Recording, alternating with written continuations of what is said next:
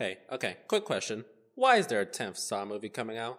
We really are having sequels for odd and non understandable reasons, but since it can be argued that a Saw series ended in a, in a somewhat satisfying way a few years ago, this movie release asks for more questions.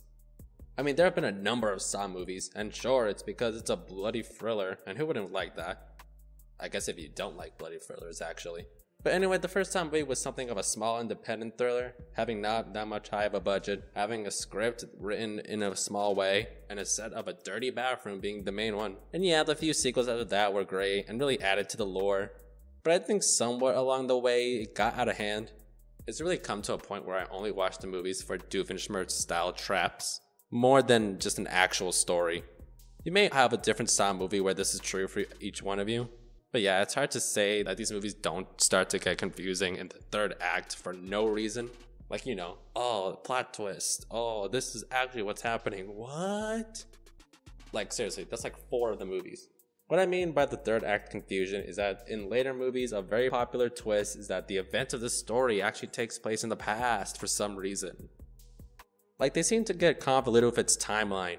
Honestly, I'm never a fan when a movie has to like skip between movies. Like whether it's in between movies 6 and 7 or before 9 and after 8, but it's after 7, but in the middle of 7.5. It just starts to get convoluted for no reason. I'm fine with twists like these, but it starts to get a bit of a one trick pony. If we have to keep making charts about everything that happens, why would we keep paying attention? Like, I don't know if they're alive or not.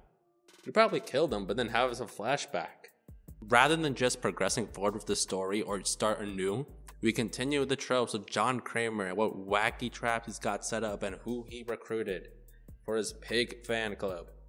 I mean, this is the 10th film and it's set between Saw 1 and 2. Why? Like, why? The last Saw movie was six years ago. Unless you count Spiral, which the main concept being used is that it takes place in the past. Like, dude, what are we doing?